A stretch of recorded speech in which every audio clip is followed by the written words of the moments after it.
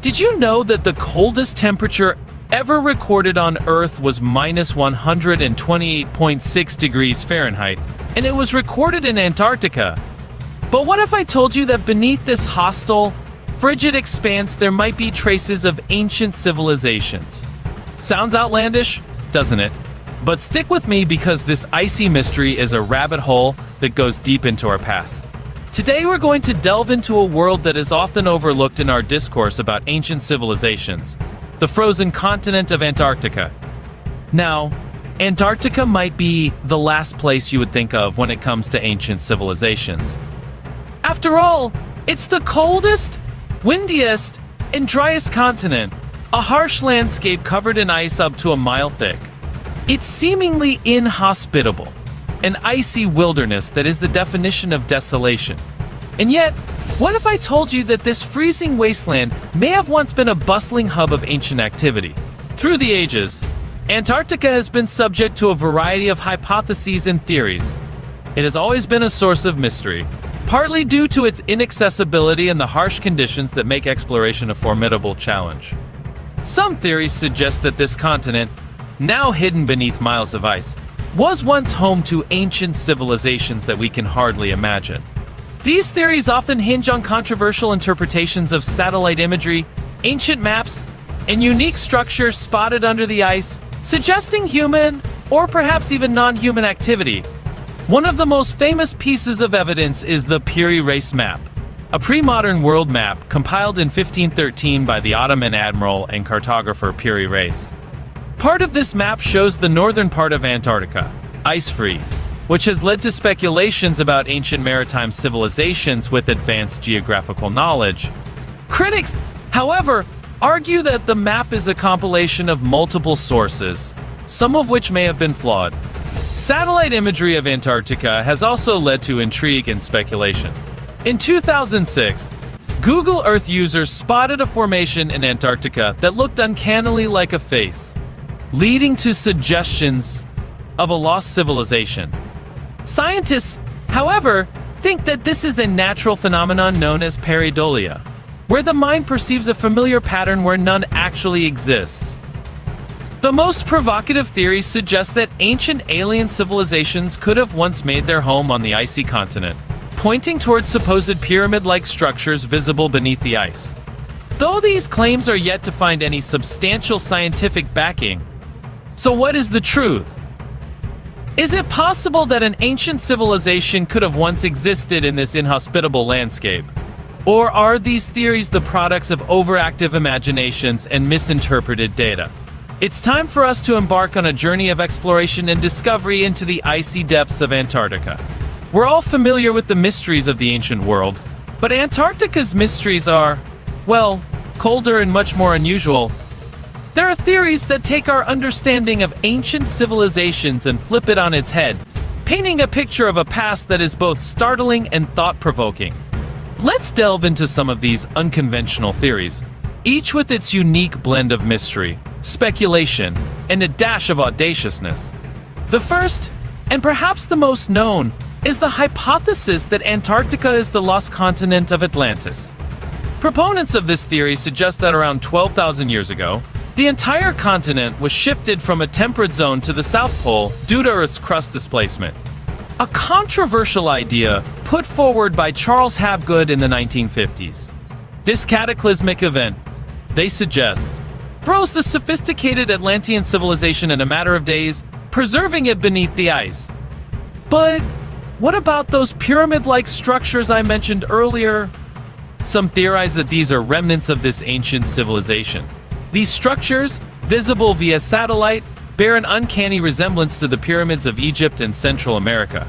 However, most scientists argue that these pyramid-like formations are likely the result of natural erosion and wind patterns unique to Antarctica. And then there's the theory of an ancient extraterrestrial outpost in Antarctica. It's been suggested that some of the unusual formations and anomalies found on the continent may be the remains of alien technology or structures.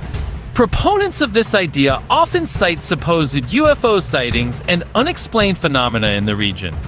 But again, these claims have not found widespread acceptance in the scientific community.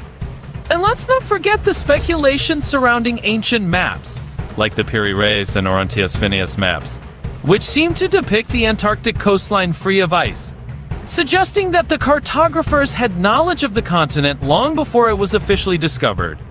Skeptics, however, argue that these maps are based on guesswork and mistaken interpretations of other landmasses. The Piri Reis map has long been a subject of fascination among historians, cartographers, and conspiracy theorists alike. Drawn in 1513 by Ottoman admiral and cartographer Piri Reis, this map illustrates parts of Europe, Africa, and the Americas with surprising accuracy for the time. But the intrigue doesn't stop there. The southernmost portion of the map seems to depict the northern coastline of Antarctica, a landmass not officially discovered until 1820. But how is that possible? Some proponents of unconventional theories suggest that the map is evidence of an advanced ancient civilization that had detailed geographical knowledge long before modern science. They argue that the Piri Reis map, along with other similar cartographic anomalies, proves that ancient mariners must have charted the Antarctic coast when it was free of ice. A situation that hasn't existed for over 34,000 years according to current scientific understanding. The details of the Piri Reis map are remarkable. It is said to include mountain ranges that were not discovered until the advent of modern seismic surveys, and even features a detailed depiction of the Andean range in South America, which is surprisingly accurate for a 16th century map.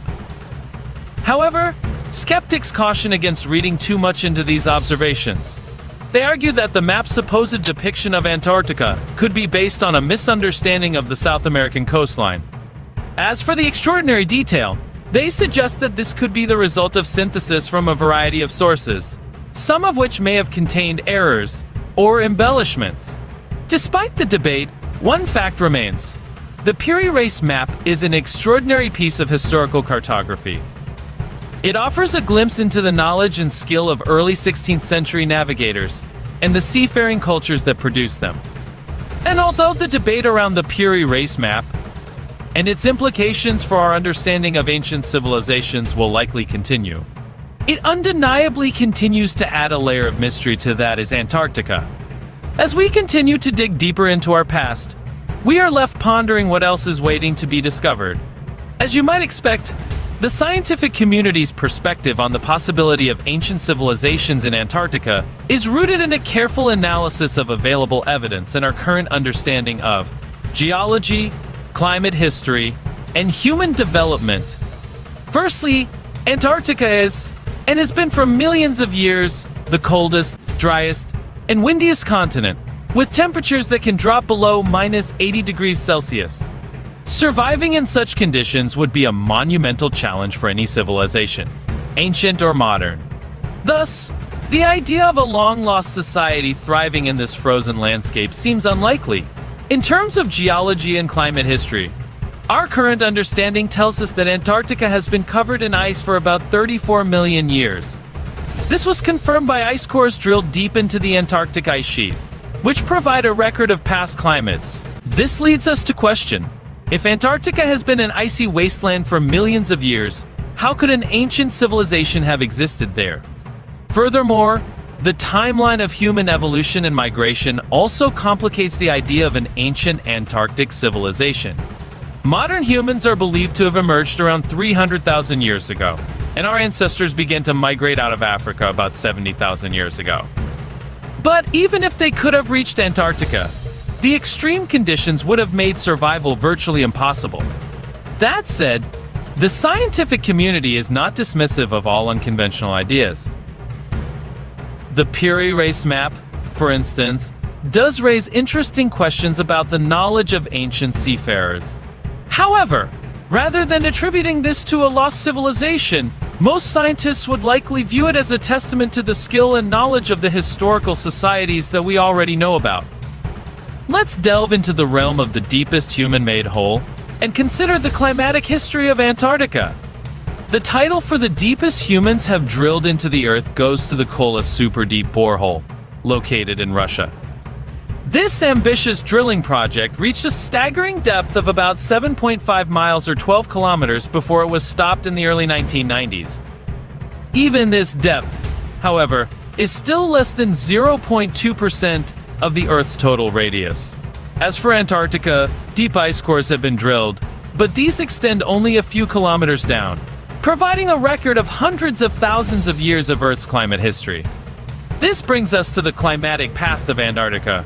According to geologists, Antarctica has not always been the frozen land we know today. The continent was once part of the supercontinent Gondwana, which existed in the southern hemisphere millions of years ago. Fossil records indicate that Gondwana was home to a variety of plant and animal life, suggesting a much warmer climate. Around 180 million years ago, Gondwana started to break apart. Antarctica slowly moved to its present location over the South Pole, and by about 34 million years ago, the continent was rapidly cooling. This cooling trend culminated in the formation of a permanent ice sheet. However, while there were fluctuations in the extent of the ice cover due to global climate cycles, has been largely icy for millions of years. There are indeed hypotheses suggesting that parts of Antarctica could have been ice-free and warmer during certain periods due to factors like geothermal heat and changes in Earth's orbit. However, these periods likely occurred millions of years ago, well before humans existed. Thus, while Antarctica may have once been a warmer, hospitable place, this would have been in a geological era far removed from the advent of human civilization. Despite this, the question of Antarctica's past and its secrets continue to captivate scientists and explorers, keeping the icy continent firmly in the realm of intriguing exploration. Have you ever wondered what secrets are buried beneath the sands of time? Picture this ancient Egypt, a civilization that left behind architectural wonders like the Sphinx and the pyramids. But what if everything we've been taught about these iconic structures is just a fraction of their true story?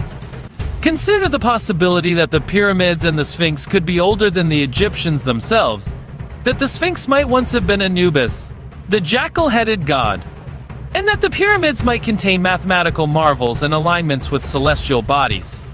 Intricacies that could suggest a technology or knowledge way beyond the human capability of that era perhaps pointing towards alien gods. Let's look at the Great Sphinx, a symbol of ancient Egypt that continues to perplex scholars today. The Sphinx is like a silent sentinel sitting on the Giza Plateau, its weathered face gazing eastward towards the rising sun. But if you examine the Sphinx closely, there are clues in its geology that suggest its story may be more complex than we initially thought. One geologist, Dr. Robert Schoch, first brought attention to this in the 90s when he proposed a controversial theory about the Sphinx's age. He noticed that the erosion patterns on the Sphinx appeared to have been caused by water, not just a bit of rain, but thousands of years of heavy rainfall. The kind that hasn't occurred in the Giza region for about 10,000 years since the end of the last ice age. Now, traditional Egyptology places the construction of the Sphinx in the reign of Pharaoh Khafre, around 2500 BCE when the area was already an arid desert. So where did this water come from? Schoch proposed that the Sphinx may be far older than traditionally believed, dating back to a time when Egypt was a lush tropical landscape with heavy monsoons and flash floods. Of course, the implications of this are profound, shaking the bedrock of our historical understanding. If the Sphinx was weathered by water and this weathering occurred before Egypt became a desert, it would mean that the monument was already ancient by the time the first pharaoh took the throne. It also begs the question, who built it? The civilization capable of such monumental architecture would predate any we know of. Could there be an unknown advanced civilization lost to the sands of time waiting to be discovered? Isn't that what makes history so exciting? The fact that we don't have all the answers. Yet, Let's now delve into an even more controversial theory surrounding the Sphinx. Now we've all been brought up knowing it as the Sphinx. But what if it wasn't always a lion-bodied, human-headed creature that we see today? What if it was something different? This theory brings us to Robert Temple, a British author and researcher. He proposed a highly debated theory that the Great Sphinx was originally not a sphinx at all, but was instead a massive statue of the jackal god Anubis. Yes, you heard it right. Anubis, the god of embalming and the dead, known for guiding souls in the afterlife. But why Anubis? Temple noted that the current human head of the Sphinx is proportionally much smaller than its body, which could indicate that the head was recarved from a larger original. In this case, a jackal head would fit the larger body better in proportion. Besides, Anubis is typically portrayed as a recumbent canine or a muscular man with a jackal's head, not so far from the Sphinx's current layout. Moreover, there's the location of the Sphinx to consider.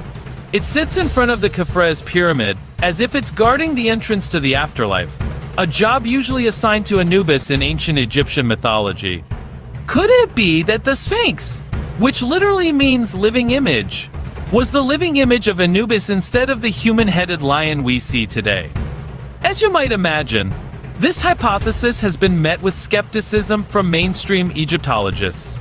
There are many factors to consider, including the established symbolism of lion-bodied creatures in the ancient world and the absence of any ancient texts referring to the Sphinx as Anubis. Our curiosity is only just getting started. Theories like these challenge the status quo and keep us asking questions. After all, isn't it a bit weird? The awe-inspiring Great Pyramids of Giza are not only remarkable because of their massive scale, but also due to their mathematical precision and alignment. You know, the kind of precision that is surprisingly difficult to achieve even today with all our modern technology and tools. This leads us to ask, how could an ancient civilization accomplish such a feat? Let's start with the Great Pyramid of Giza, also known as the Pyramid of Khufu. It's the largest of the three pyramids, originally standing at an astonishing 481 feet. Not to mention, it was the tallest man-made structure in the world for over 3,800 years, until the completion of Lincoln Cathedral in England in the 14th century. But it's not just about the size. The base of the Great Pyramid is a near-perfect square, with each side measuring about 756 feet. The level of precision is such that the difference in lengths between the four sides is less than 2 inches.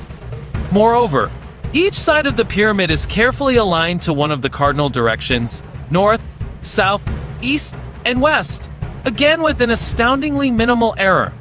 This already seems remarkable, right? But hold on to your seats, because it's about to get a lot more intriguing. The Pyramid of Khufu, along with the other two pyramids of Giza, are positioned in a way that mirrors the alignment of the three stars in the belt of the constellation Orion. In ancient Egyptian mythology, Orion was associated with the god Osiris, the god of the afterlife. This cosmic correlation suggests a deep understanding of astronomy that goes beyond mere charts. The mathematical sophistication and astronomical alignment present in these pyramids point to a highly advanced civilization. But again, the question remains, how was this accomplished? Mainstream history tells us that this was all done by sheer human ingenuity and labor using simple tools and methods. Others, however, speculate about intervention from a higher intelligence, perhaps even extraterrestrial. The theories are as vast and intriguing as the pyramids themselves. Isn't it all just amazing? Or maybe it's just a bit weird. That goes any sufficiently advanced technology is indistinguishable from magic. If we were to time travel thousands of years back and show a smartphone to the ancient Egyptians, they would likely see it as a divine or magical artifact. With this perspective, some researchers suggest that the pyramids, and indeed much of the awe-inspiring accomplishments of ancient Egypt, may have been influenced or even directly facilitated by extraterrestrial entities, whom the ancients may have perceived as gods. There is a theory known as the ancient astronaut theory that proposes the interaction of extraterrestrial beings with ancient humans. Supporters of this theory suggest that much of the technology, knowledge, and spiritual understanding of our ancient civilizations was handed down from these celestial visitors. The idea has gained popularity due to authors like Eric von Däniken and shows like Ancient Aliens on the History Channel. Let's take a closer look at this theory in the context of ancient Egypt. Proponents point out that the construction of the pyramids, especially given the remarkable mathematical precision and astronomical alignment, could not have been possible with the tools and knowledge known to exist during the reign of Pharaoh Khufu. Therefore, they argue, the pyramids might be the result of technology or knowledge provided by an advanced, non-human civilization. Further fueling this theory are the Egyptian texts and artwork that seem to depict what could be interpreted as advanced technology or celestial beings.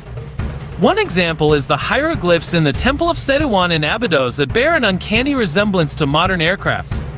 Also, many ancient Egyptian deities were associated with celestial bodies and were believed to possess incredible powers. Could it be that these gods were extraterrestrials, perceived as divine due to their advanced technology and knowledge? Were they the ones who instructed or aided the Egyptians in constructing the pyramids?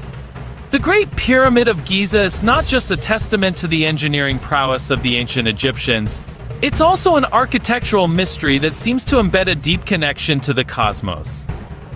Let's delve into the intriguing details of how the structures on the Giza Plateau reflect an intimate understanding of the heavens. An understanding that seems surprisingly advanced for a civilization from more than 4,000 years ago. It's well known that the layout of the three primary pyramids mirrors the positioning of the stars in Orion's belt. This correlation was brought to the forefront by Robert Bauval and Adrian Gilbert in their Orion correlation theory.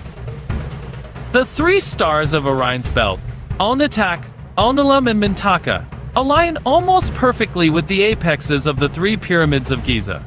Moreover, the orientation of the pyramids to the north is so precise that it deviates from true north by just 3 slash 60th of a degree. Could the builders have had an advanced astronomical knowledge, or perhaps assistance from a more advanced civilization? Going deeper, the Great Pyramid itself has elements of celestial alignment. Its narrow shafts, dubbed air shafts or spirit stones, seem to be aimed at specific stars. The southern shaft of the King's Chamber points to Orion, while the northern shaft points to the circumpolar stars. Similarly, in the Queen's Chamber, one shaft points to Sirius, the brightest star in the sky, and another points to the Ursa Minor constellation. It's fascinating to think that these structures, built thousands of years ago, could act as star pointers, adding another layer of intrigue. The Sphinx also shows signs of astronomical alignments. The Sphinx faces due east, and some theorists propose that it was designed to observe the equinoxes and solstices. The theory of the Sphinx representing the constellation of Leo during the Age of Leo, approximately 10,500 BCE, as proposed by Robert Bauval and Graham Hancock, challenges mainstream chronology and makes us question our understanding of the Sphinx and its origins. While skeptics argue these alignments could be coincidental, it's hard to dismiss the accuracy and precision involved. Could it be a random occurrence or is it evidence of an ancient civilization that had deep astronomical knowledge? Or perhaps even a sign of extraterrestrial intervention? As we continue to explore and decipher the secrets of ancient Egypt, the questions just keep piling up. And as always, thanks for watching. As we delve into the past, we discover that our history is full of mysteries and questions that even today's technology struggles to answer.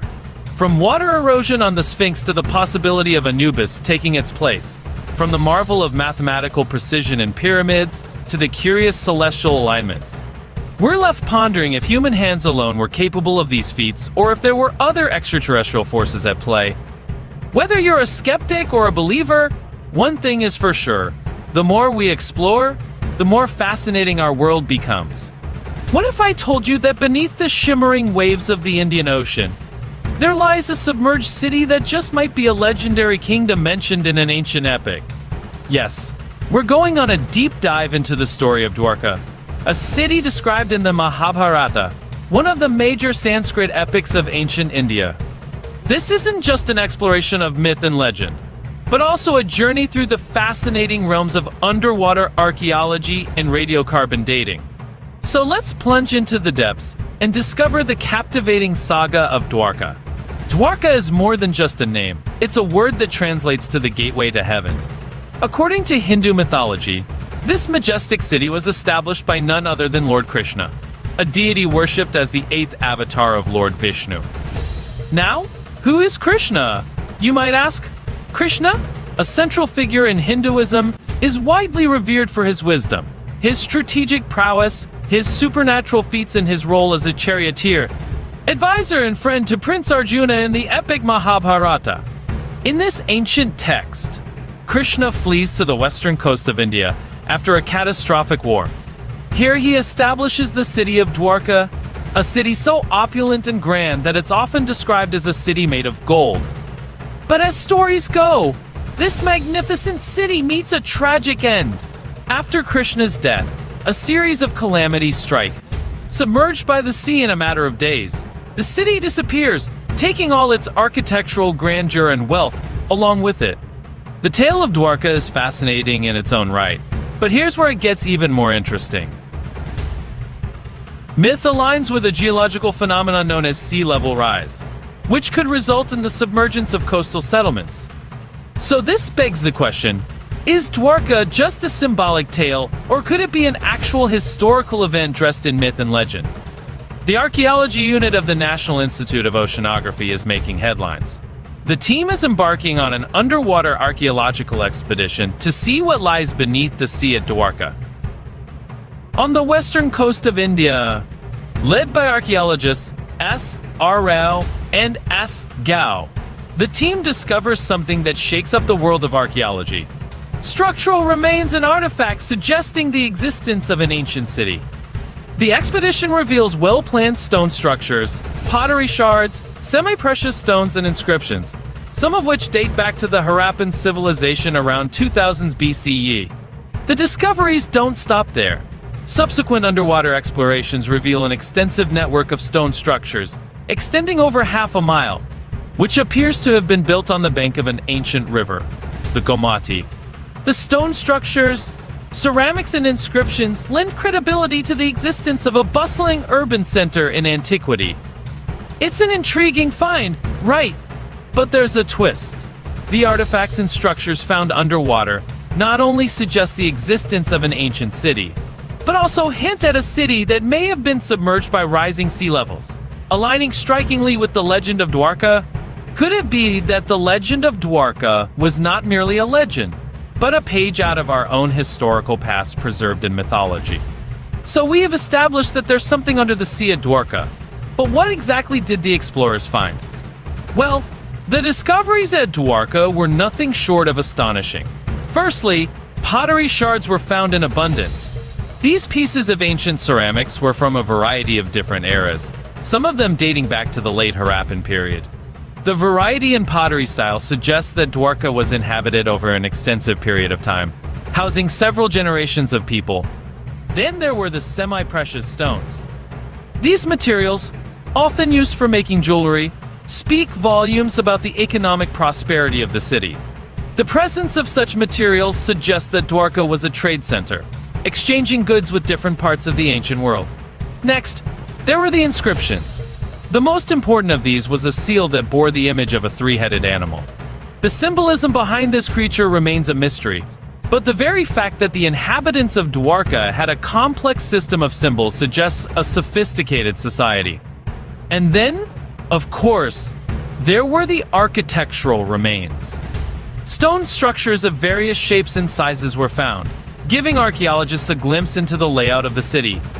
Among these structures, a series of circular fort-like constructions, believed to be part of the city's defense system, were particularly remarkable. Taken together, these discoveries form a remarkable narrative of an ancient city that was, in its time, a hub of civilization and commerce. And this narrative, much to our astonishment, aligns remarkably well with the mythical city of Dwarka described in the Mahabharata. In a world where we want hard facts, the science of radiocarbon dating can act as our time machine, providing an objective lens through which to view the past. And it was this scientific tool that was used to try and pinpoint the age of the submerged city of Dwarka. Radiocarbon dating works by estimating the age of organic materials, which include ancient artifacts and biological specimens. It's based on the principle that all living things contain carbon, some of which is radioactive C14. When a creature or plant dies, it stops absorbing this radioactive carbon, but the C14 it already contains continues to decay. By measuring the remaining quantity of C14, scientists can estimate how long ago the organism died, or in our case, when the artifacts were last used or made. Applying this technique, pieces of wood from Dwarka were sent to laboratories where they were analyzed for radiocarbon content. The results. The wood samples were found to date back to around 7,000. 500 years ago, vastly predating the expected timeline of Mahabharata, according to most historians. This significant revelation opened up a Pandora's box of questions. Could the submerged city really be the mythical Dwarka? If so, does it mean that our timeline of the Mahabharata is off? Or does it suggest that the city was inhabited long before Krishna supposedly ruled there? The epic merely borrowed the location's rich history. The radiocarbon dating results were a fascinating discovery, adding a new layer of complexity to the mystery of Dwarka. It reminds us that the lines between history, archaeology, and mythology can blur, leaving us to ponder on the intersection of fact and fiction. How does radiocarbon dating work? Let's step back from the Dwarka and elaborate a little more on this interesting way to measure age. Alright, so imagine you're watching a video on YouTube. When the video starts, it's fully loaded. Right. Now, let's say you pause the video and go grab a snack. When you come back, you notice that the video is unloaded a bit. It's been buffering and you can't play it right away. That's a bit like how radiocarbon dating works. But instead of a video, we're talking about a kind of stuff called carbon minus 14. You see everything that was once alive, like a tree, a dinosaur, or a woolly mammoth. Absorbed a type of carbon called carbon minus 14 when they were living. Once they die, they stop taking in new carbon minus 14. But here's the cool part Carbon minus 14 is a little bit like a slowly buffering YouTube video. Over time, it changes, or decays, into another kind of stuff called nitrogen minus 14. Scientists call the time it takes for half of the carbon minus 14 to change into nitrogen minus 14. It's half-life. Kind of like if half your video had to buffer before you could watch it. For carbon minus 14, this half-life is about 5,730 years. Now, let's say we find a really old piece of wood, and we want to know when the tree it came from stopped living. We can't ask the tree, obviously, but we can use a special tool to measure how much carbon minus 14 is still in the wood compared to how much carbon minus 12. A type of carbon that doesn't change over time is in it. There's a lot of carbon minus 14 left. The tree probably hasn't been dead very long. But if there's only a little carbon minus 14 left, that means the tree has been dead for a very long time. And that's pretty much how radiocarbon dating works. Scientists use this method to tell how old things are that used to be alive from ancient wooden tools to prehistoric animal bones. It's like a time machine that helps us uncover the secrets of the past. The discussion surrounding the ancient city of Dwarka isn't without its skeptics. These are the people who question the conclusions that have been drawn from the archaeological evidence. And their doubts are an important part of the scientific process. One of the main areas of skepticism revolves around the age of the underwater city. Critics point out that while certain samples tested using radiocarbon dating suggest an older date, this doesn't necessarily confirm that the city itself is of the same age. Older organic material could have been incorporated into a younger settlement, Skeptics also point to the complexity and size of the structures that have been found underwater. They argue that these structures are far more sophisticated than what is typically associated with other sites from the same period. Some even suggest that the underwater ruins could be the remnants of a much more recent settlement, potentially even dating to medieval times. Then there's the question of the city's connection to the ancient epic, the Mahabharata. Skeptics argue that just because a city is found where the mythical Dwarka is said to have been, doesn't mean it's the same city. After all, there could have been multiple settlements in the area over the thousands of years of human history. Finally, skeptics argue that more research needs to be done. The underwater site is extensive and only a small portion has been thoroughly investigated. Until more of the city is explored and more artifacts are found and tested, Skeptics caution against drawing firm conclusions about the site's age and cultural significance. But where does that leave us? A submerged city? Radiocarbon dates that point to immense antiquity, and a saga that may or may not be the echoes of a distant past. The quest for understanding Dwarka is a testament to the human spirit's insatiable curiosity, bridging the gap between myth and science. So the next time you gaze at the vast expanse of the ocean, remember that beneath its surface may lie stories waiting to be discovered. But as always, the journey towards knowledge is as fascinating as the destination itself. Ever heard of a civilization that planned their cities with intricate precision, used standardized weights, and wrote in a script that remains undeciphered to this day? Welcome to the mystical world of the Harappans, who flourished in the Indus Valley around 5,000 years ago. This ancient society, one of the cradles of human civilization, was so advanced for its time that it continues to baffle modern historians and archaeologists. Today we dive into the remarkable story of this civilization, exploring their urban architecture, mysterious script, sudden disappearance, and even, dare I say, possible extraterrestrial connections. Sprouting around 3300 BC, during what we now know as the Bronze Age, the Indus Valley Civilization, also known as the Harappan Civilization, was an oasis of advancement in an era when most of humanity was still dependent on hunting and gathering. Located in what is now modern-day Pakistan and northwest India, it was a civilization that would change the course of human history. The remarkable thing about the Indus Valley civilization is its expanse. It spanned from the majestic foothills of the Himalayas all the way down to the warm waters of the Arabian Sea, covering more than a million square kilometers. It was not a small collection of towns or cities, but a civilization composed of over a thousand individual settlements. Some of these settlements were as far away as Afghanistan, showcasing the reach and influence of this ancient society. The two largest cities, Mohenjo-Daro and Harappa, were the main hubs of the civilization. These cities have offered the most significant evidence about the culture, lifestyle, and technological prowess of the Harappans. The range of artifacts, from terracotta toys to a wealth of intricate seals found at these sites provides an insight into the complexity and diversity of this civilization. Moreover, the civilization was flourishing at a time when Egypt was still nurturing its first dynasties, and the Sumerians were laying the foundation of Mesopotamia. The Harappans not only coincided with these civilizations, but were engaging in long-distance trade, as indicated by Mesopotamian artifacts found in Harappan cities and vice versa. This ancient network of trade is a testament to the Harappans' enterprising spirit and their role in the early development of international commerce. The Indus Valley Civilization, with its vast expanse and technologically advanced cities, truly stands out in our human past as a beacon of the early urban revolution that laid the foundations for modern civilization. Few ancient civilizations can compete with the Harappans when it comes to urban planning and architecture. Their cities were laid out with remarkable precision, akin to a modern city's grid system.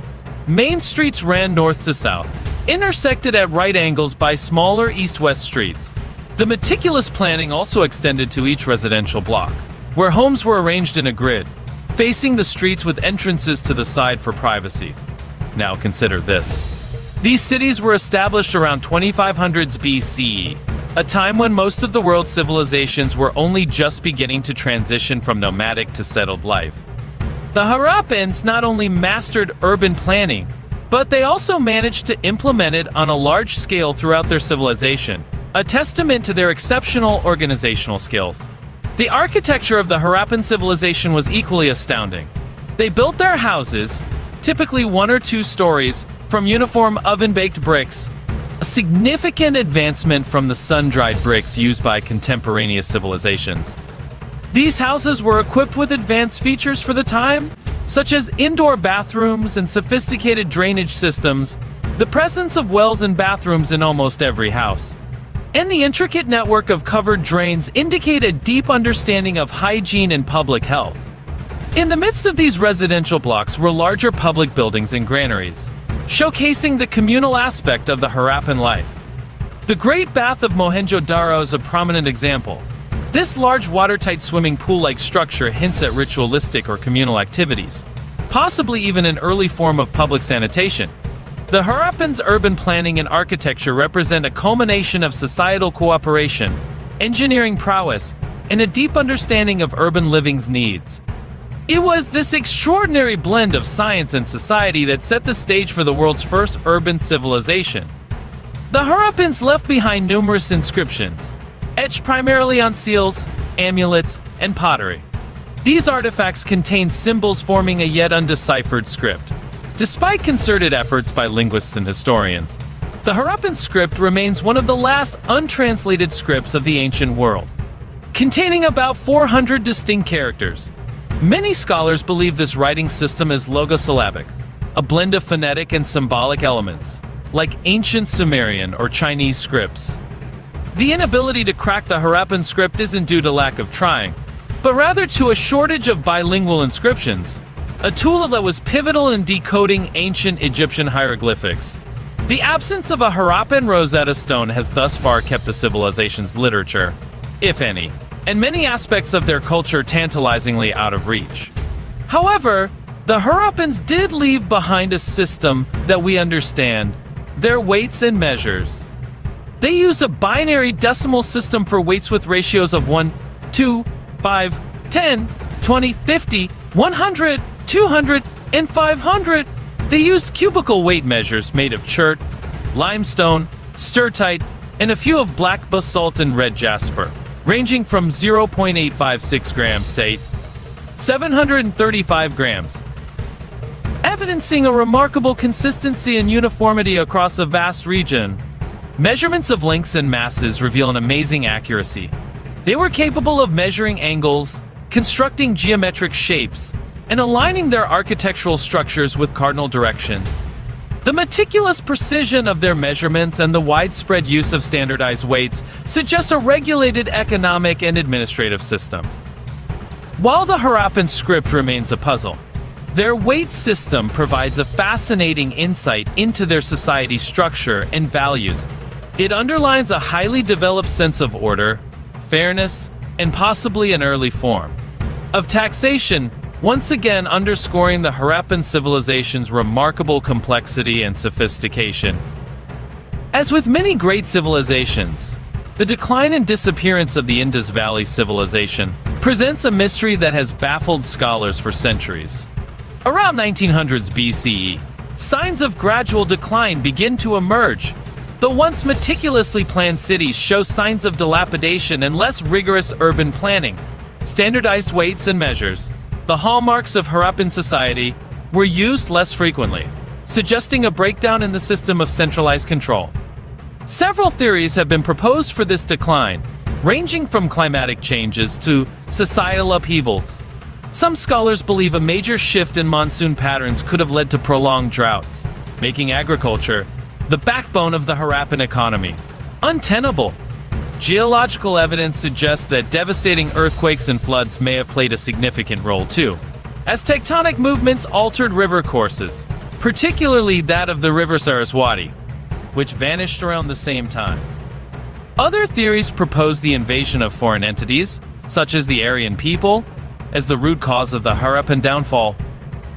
However, this theory has become less popular in recent years due to a lack of solid archaeological evidence supporting the existence of a large-scale conflict or mass migration.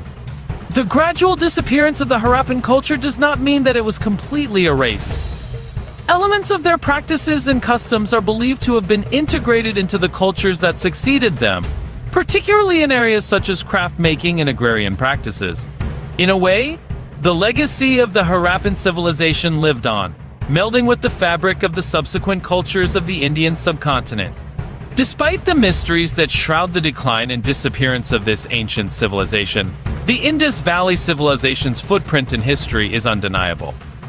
They showcased remarkable progress in urban planning, technology, and societal organization, setting a strong foundation that undoubtedly influenced the civilizations that followed them. Their legacy is a testament to human innovation and resilience, providing a fascinating glimpse into our shared past. The allure of the unknown often entices us to search for links between disparate civilizations and sometimes even to conjecture connections with extraterrestrial entities. The Indus Valley civilization, shrouded in mystery due to its undeciphered script and abrupt disappearance, provides ample ground for such speculations. One intriguing line of inquiry emerges from the numerous Indus Valley seals that depict what appear to be flying objects. These objects have been subject to various interpretations, with some suggesting a link to the ancient alien theory. Proponents argue that these depictions may indicate that the Harappans had contact with extraterrestrial beings. However, mainstream academia generally dismisses these theories due to a lack of concrete evidence and the likelihood of alternative, more plausible interpretations. In terms of inter-civilizational connections, there's intriguing evidence of contact between the Harappans and contemporary Mesopotamian civilizations. Archaeological findings have unearthed Harappan seals and jewelry in ancient Mesopotamian sites, indicating trade relations. Additionally, references to a distant country known as Meluhha in Mesopotamian texts are believed by many scholars to refer to the Indus Valley civilization. Some researchers also suggest possible cultural and technological influences between the Harappans and the ancient Egyptians, another civilization renowned for its advanced engineering feats. However, while such connections are plausible, given the maritime capabilities of these societies, concrete evidence supporting this theory remains limited. Unraveling these potential connections is a captivating yet complex pursuit. While these theories, particularly those involving ancient aliens, often venture into the realm of speculation, they underscore our fascination with the vast and complex web of ancient civilizations. As our understanding of the past continues to evolve, who knows what startling connections and revelations await us. As we take a step back and contemplate the Indus Valley civilization, it's not just their tangible achievements that mesmerize us, it's the aura of mystery surrounding their undeciphered script, the mystery of their abrupt disappearance, and the tantalizing possibility of connections with other ancient societies and perhaps even extraterrestrial entities. But the true testament to their legacy is how they inspire us to constantly question, explore, and strive to understand our shared human past. So, next time you look at an urban grid or a piece of writing, Take a moment to appreciate the journey of human civilization. Picture yourself in the sands of ancient Egypt, standing in the shadows of awe-inspiring structures that challenge the very limits of human ingenuity. Pyramids, colossal tombs built by hands millennia ago, each one an embodiment of extraordinary architectural genius, unique in its own way. The sheer magnitude of these structures, coupled with their mystifying precision, hints at an expertise far beyond what we'd expect from the ancient world. But what if there's more to these structures? What if we've been looking at them all wrong? What if they're not just architectural feats, but rather signposts left behind by extraterrestrial visitors? Intriguing, isn't it? The Black Pyramid, located in the royal necropolis of Dahshur, built by Pharaoh Amenemhat III, it's named for the dark-weathered casing stones that once covered it giving it a brooding, mysterious look. Despite its dilapidated state, the Black Pyramid still emanates an undeniable aura of ancient grandeur. The Black Pyramid was the first to be built with mud brick core and encased in a beautiful layer of black basalt, a departure from the usual limestone and granite, adding another layer of intrigue to this historical puzzle. Today, what remains is a glimpse of the grandeur it once held the blackened edifice standing like a solemn testament to the ingenuity of its creators. Why did Amenemhat choose to use this combination of building materials? Could it have been influenced by a need for a sturdier design, given the structural failures of previous pyramids? Or did the black stones have a specific symbolic or practical purpose beyond our current understanding? The use of different materials has led some to speculate about possible alien influence. The specific choice of black basalt, a volcanic rock known for its high density and resistance to erosion, sparks curiosity. Could it be that an advanced extraterrestrial civilization advised the use of this material to ensure the pyramid's longevity? We may never truly know. In the end, the Black Pyramid, much like its brethren, keeps its secrets well, and it's these qualities that continue to captivate and puzzle all who seek to understand the profound history of these ancient wonders. Inside the royal necropolis of Dahshur, here we encounter a distinctive and peculiar monument known as the Bent Pyramid. But what gives this pyramid its unique bent appearance? Constructed during the reign of Pharaoh Sneferu, father of Khufu, The bent pyramid represents a transitional phase in pyramid construction techniques. Initially, it was designed with a steep 54 degree inclination, similar to the earlier step pyramids. However, about halfway up, the architect suddenly changed the angle to a much less steep 43 degrees, giving it a unique bent shape. Why the sudden change?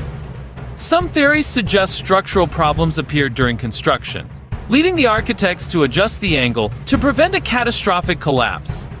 But other theories are more mysterious. Some propose that astronomical or calendrical changes led to this alteration, or perhaps even extraterrestrial involvement or guidance. On the interior, the bent pyramid holds another surprise. Unlike most pyramids, it has two entrances, one on the northern face and another on the western, each leading to a different set of chambers. Was this intentional and designed for ritualistic purposes? Or is there a more practical explanation? Much like its bigger brother in Giza, the Bent Pyramid is a marvel of ancient architecture that continues to perplex and astound us.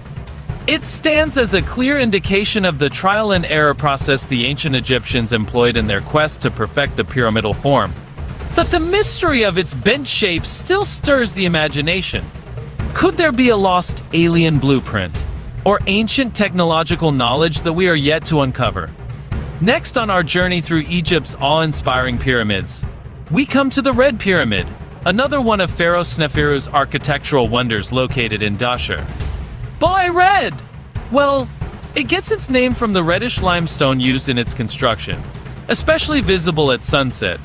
Often overlooked due to the grandeur of the Great Pyramid, the Red Pyramid is actually one of Egypt's true architectural marvels.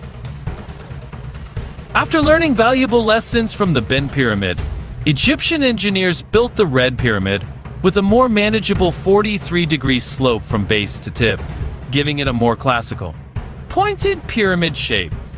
Inside, it features a series of corridors and antechambers leading to a pair of burial chambers, showing clear advancements in internal pyramid design from previous generations. The complexity of the internal design sparks questions about the mathematical and engineering capabilities of the ancient Egyptians. It's not unreasonable to think that they may have had some help, whether from an advanced ancient society or even extraterrestrial life. Perhaps one of the most intriguing aspects of the Red Pyramid is the acoustic properties of its chambers. Visitors have reported experiencing a deep, pulsating resonance in certain areas, while scientists have attributed this to the structure's shape and materials, some theorists point towards a more otherworldly explanation, suggesting the pyramid was designed for an acoustic purpose beyond our current understanding. Stepping further back in time, let's visit Saqqara, home to the Pyramid of Djoser. This architectural masterpiece is not just another pyramid, actually recognized as the very first colossal stone building and the earliest colossal stone pyramid in Egypt. Constructed for Pharaoh Djoser by his architect Imhotep, it's a step pyramid, quite literally, a departure from the classic shape we're accustomed to. This six-tier, four-sided structure ascends in six distinct steps, much like a staircase to the heavens. But why would the Egyptians make a step pyramid instead of the smooth-sided ones we're familiar with? Some suggest this was a transitional design, an evolutionary step between the flat roof tombs of earlier pharaohs and the smooth-sided pyramids that followed. Others point to religious or cosmological reasons, seeing the steps as a grand staircase for Djoser's Ka, or life force, to ascend to the sky and join the gods. The pyramid's impressive subterranean network of tunnels and chambers, over 5 kilometers long, adds to the intrigue. Its complexity far outstrips anything attempted before, was this vast, maze-like understructure a deterrent to grave robbers, a pathway for Djoser's Ka, or something more mysterious? Some proponents of the ancient astronaut theory suggest that these labyrinthine corridors are too complex to be solely the work of human hands, suggesting extraterrestrial involvement in their design. Our second last stop on this grand tour is the Pyramid of Meidum, a structure standing in the Egyptian desert with a story that's as fascinating as its unusual appearance. Unlike other pyramids we've looked at, the Pyramid of Meidum is characterized by its strange, tower-like structure looking less like a pyramid and more like a colossal, multi-layered wedding cake. The Meidum Pyramid is believed to have been initially built as a step pyramid for the pharaoh Sneferu. What's interesting is that it appears to have been architecturally modified mid-construction, with the steps filled in to create a true pyramid form. But something went wrong. Dramatically wrong. The outer layers of the pyramid have collapsed, leaving just the inner core standing. What caused this? Did the architects overestimate the stability of their design, or was there an external factor at play? These questions linger in the wind that sweeps across the Meidum Pyramid, and researchers are still seeking answers. An even more tantalizing question is whether extraterrestrial beings could have influenced the construction of this pyramid. Alien theorists point to the Meidum Pyramid's complex design, the sheer scale of the project, and the sudden shift in architectural plan as indicators of potential alien involvement. Could this pyramid's unique design be an ancient echo of advanced knowledge imparted by extraterrestrial visitors? Until we discover conclusive evidence, the Pyramid of Meidum will continue to both baffle and captivate those who ponder its origins. If we go on a historical journey back in time, around 4,500 years ago to be precise, we encounter one of the most magnificent constructions of the ancient world. The Great Pyramid of Giza. And it's not just great in name, it's massive. Originally standing at 481 feet, 146.6 meters, making it the tallest man-made structure for over 3,800 years. Isn't that something? Constructed during the reign of Pharaoh Khufu, it's estimated that around 2.3 million stone blocks each weighing between 2.5 and 15 tons, were used in its construction. The precision and accuracy with which this colossal monument was built are truly mind-boggling. Its sides are aligned almost perfectly with the cardinal points. And its base is horizontal and flat to within just 21 Amir. More fascinatingly, the pyramid's design incorporates complex mathematical and astronomical knowledge, such as the concept of pi in the solar year, how an ancient civilization achieved this feat is still a topic of heated debate among archaeologists and historians. Did the Egyptians possess advanced technology lost to time? Or, as some propose, were they aided by extraterrestrial beings? The Great Pyramid isn't just an architectural marvel, but also an acoustic one. It appears to focus electromagnetic energy in its chambers and beneath its base, leading to wild speculations about its purpose. From a Graham tomb to an ancient power plant or a cosmic beacon, the theories are as numerous as they are intriguing. Have you ever looked up at the stars and wondered how our ancestors interpreted these celestial bodies? What if I told you there was a civilization that not only gazed at the cosmos, but wrote sophisticated texts that connected life, nature, and the universe in one profound framework? This was the Vedic civilization a culture that emerged around the same time when the pyramids were being built in Egypt, but halfway across the world in the Indian subcontinent. Their fascinating contributions to astronomy, philosophy, and mathematics are still evident in modern society, yet their beliefs and laws seem to intertwine with other ancient civilizations, even hinting at advanced technologies and extraterrestrial connections. So let's embark on a journey into the past to a time when the Vedas were being composed and uncover the intriguing world of the Vedic civilization. The Vedic civilization is named after the Vedas, which are the oldest scriptures in Hindu literature. But these are not just religious texts. They are in many ways a window into the culture, science and philosophy of a society that thrived between 1500s and 500 B.C., a significant component of ancient Indian society. The Vedic civilization spanned across the northern and northwestern parts of India, covering the modern-day states of Punjab, Haryana, Uttar Pradesh, Bihar, and parts of Rajasthan. The Vedic civilization's chronology itself is intriguing. Its beginning coincides with the end of the Indus Valley civilization, leading some to suggest that the Vedic people might have been the successors of the Indus Valley people. Others suggest that they were entirely distinct entities, with the Vedic civilization being pastoral and nomadic compared to the urban, settled life of the Indus Valley civilization. However, it's clear that both civilizations were remarkably advanced for their time. The civilization gets its name from the four Vedas, Rig Veda, Yajurveda, Samaveda, and Atharvaveda. These texts are a collection of hymns, rituals, and chants used in religious rites and ceremonies. The texts are written in Sanskrit, and they provide valuable insights into the societal structure, economic practices, and philosophical beliefs of the Vedic people. But they also contain some intriguing elements that have sparked debates among scholars and enthusiasts alike. References to advanced astronomical knowledge, Mentions of flying machines or vimanas and sophisticated metallurgical practices raise questions about how much the Vedic civilization knew and understood. Some argue that these elements point towards ancient technology, possibly even interaction with extraterrestrial intelligence, while others interpret them as metaphors or religious symbolism. The debate continues, making the Vedic civilization an endless source of intrigue and fascination. The Vedic civilization has left an indelible mark on the world, and its influence continues to shape our modern lives in ways that we may not even recognize. We owe a great deal of our understanding of early philosophy, astronomy, mathematics, and health sciences to this ancient civilization. Take, for instance, the concept of zero.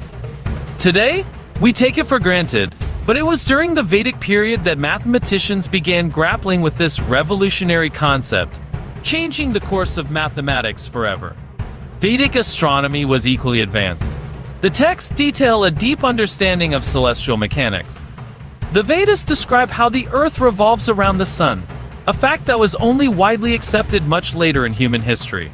They also mention Vimanas, which many interpret as references to flying machines, causing speculations about possible advanced technology or even ancient aviation.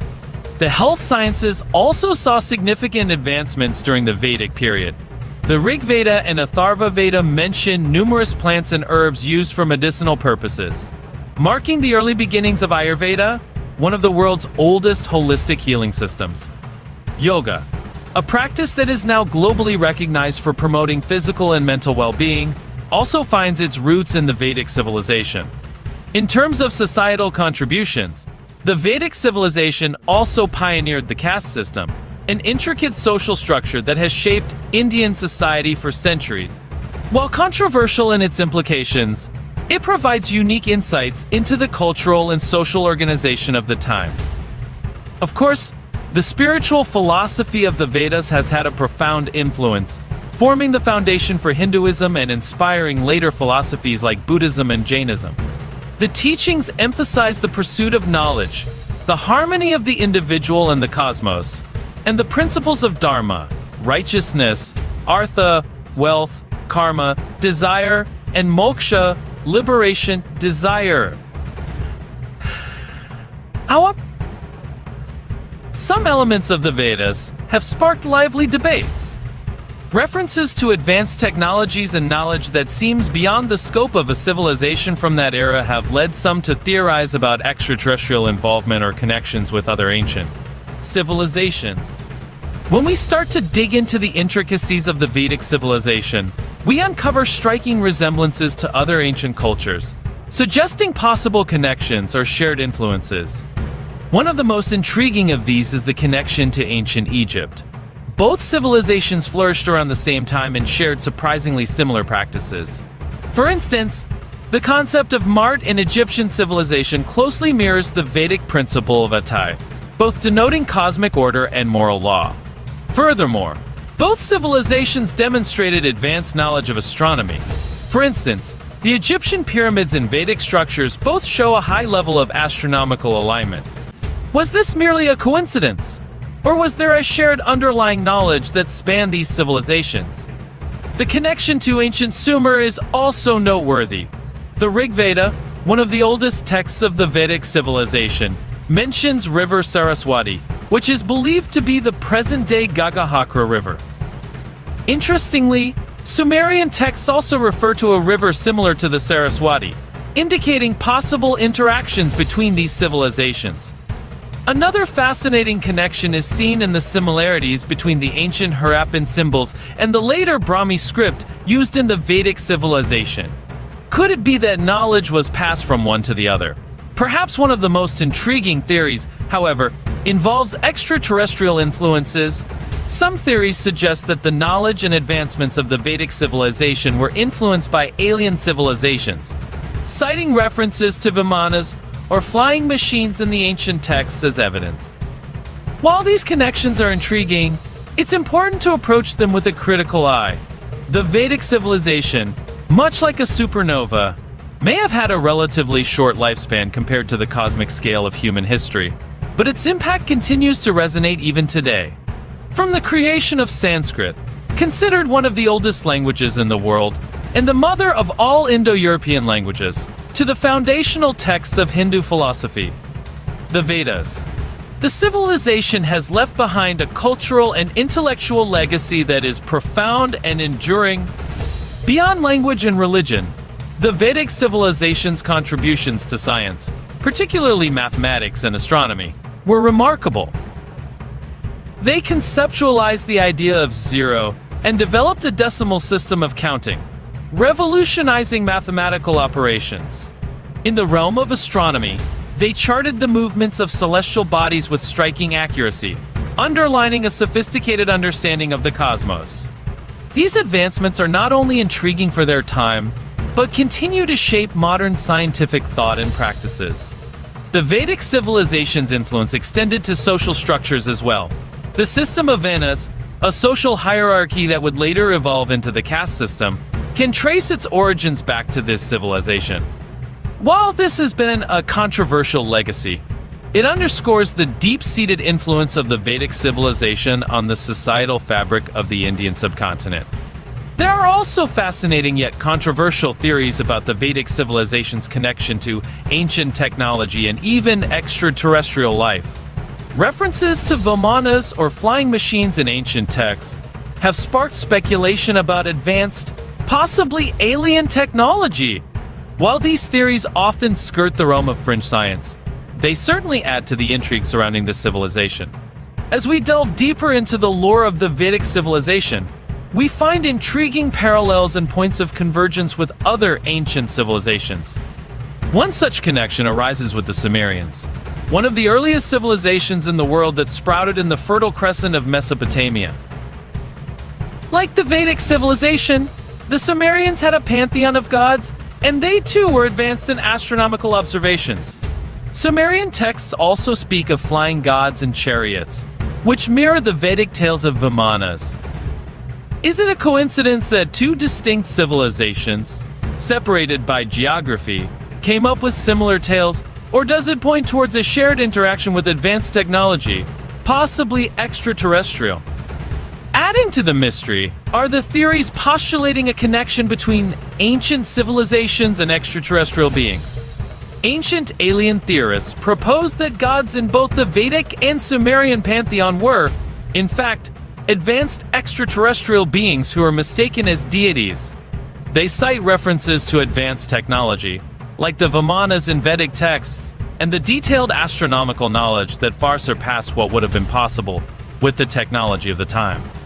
Furthermore, striking similarities in architectural designs, symbolism, and religious rituals found across ancient civilizations have led to speculations of a shared ancient culture or a mother civilization.